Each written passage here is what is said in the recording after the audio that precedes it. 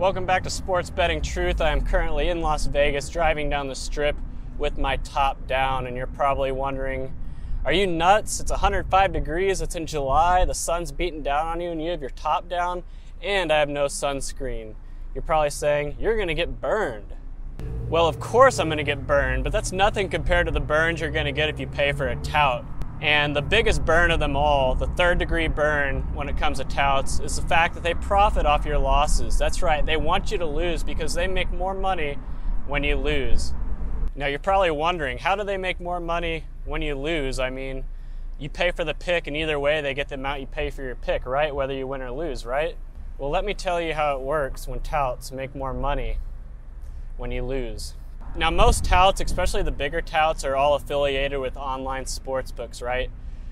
Their tout websites are just plastered with sign up links and bonus promotions and everything for all these online sports books. And how do you think they get paid to promote these sports books? Well, yeah, they might get paid the traditional way, you know, we'll pay you X amount of money to advertise this banner on your site or promote this book, yeah. But the real way they get paid might surprise you. So say that the tout gets 20 of their victims. I, I don't call tout customers customers, I call them victims. But say they get 20 of their victims to sign up for an online sports book, right? That the tout is affiliated with. And let's say that these 20 victims collectively lose $20,000 in a month. The tout negotiates with these books to get a cut of those losses. And so say the tout negotiates the rate of, you know, I get 10% of the losses from the customers I send your way, right? And so they kick it back. And so they'll get out of the 20,000 loss, they'll get $2,000 for the month just from the cut of the losses generated by these 20 customers. God, strip traffic is the absolute worst. You stay at the same lights for like five minutes, and it's especially worse when your top's down when it's 105 degrees. Anyway, say those 20 customers win a combined $20,000 for the month. Say they win a dollar. The tout's not getting anything because they get a cut of the losses. So obviously, the tout has a vested interest in sending losing customers to these online books, so they get a bigger kickback of the losses. And that's the scam. So if a tout has a vested interest in you losing via these affiliate links, why would they give a crap about giving you winning picks? Why would they care?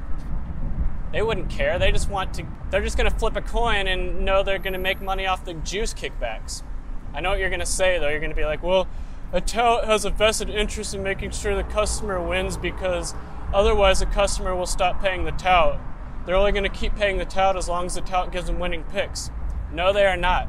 And if you've watched my other videos about touts, you'll learn that touts are very high pressure and they have a bunch of gimmicks and tactics they use to keep people on the hook and not let them off easy. They're a lot like timeshare salesmen in the fact that they're going to pressure you to stay in and they have every trick in the book that they're going to deploy to make sure you don't stop paying the tout.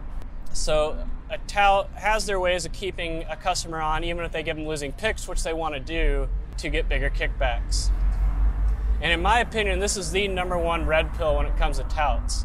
It is the red pill of all red pills. Touts are scum, but this is the scummiest move of them all because it just shows that they are just in it to take your money and they don't care about actually doing what they say they're going to do and giving you winning picks. Touts are trash. So if you want to get burned like I'm getting burned right now on the Las Vegas Strip in this 108 degree sun in the middle of July, be my guest. Go pay a tout. See how that works out for you. Otherwise, be smart. Make your own picks. You'll come out way ahead. Even if you don't win, you won't lose as much money because you're not paying the tout fees. Well, that wraps it up for this tout gimmick video. Stay tuned right here to Sports Betting Truth for all of your sports betting needs. Until next time, this is Sports Betting Truth signing off. Oh, in case you're wondering why I have my windows up, it's because it's windy. There's dust flying around everywhere. See you later.